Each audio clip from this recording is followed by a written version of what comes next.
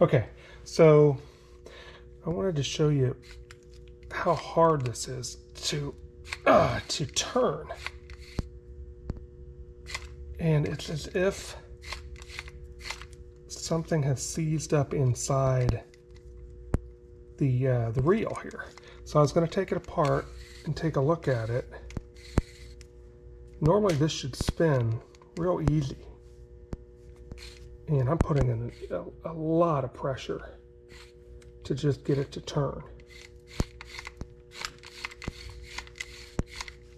So I, I don't know. Um, I'm thinking it needs to be lubricated.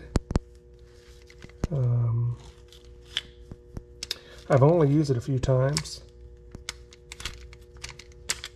but it's really, really hard to turn. you got to put a lot of pressure on this handle to get it to turn. So I was thinking about taking out these screws and trying to open open this up and maybe lubricate it because I had a previous version and it lasted it lasted for years. Uh, I've used this one maybe maybe three times now. I did put some lubrication on here. Um, I took the I took the spool off.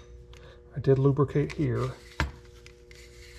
but yeah, this is extremely hard to turn.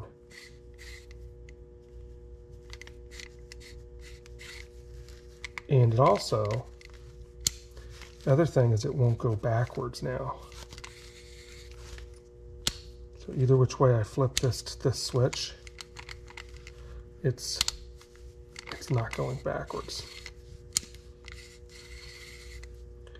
Okay, so that's what I'm up against. Um, let me know what you think.